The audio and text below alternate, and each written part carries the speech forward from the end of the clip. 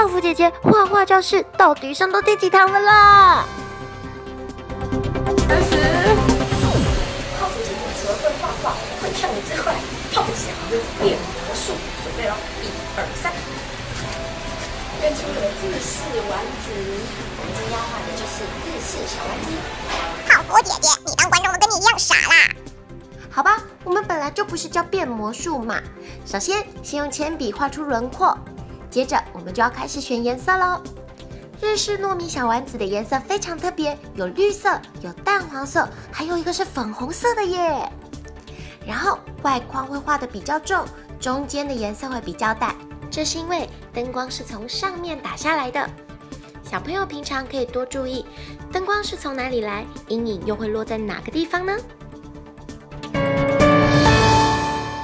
上过七堂课的小朋友都知道，最后会加上阴影，日式糯米小丸子就完成了。看起来有没有好有立体感？我们学了好多好多的东西哦，快看看上面，你总共学过了几种呢？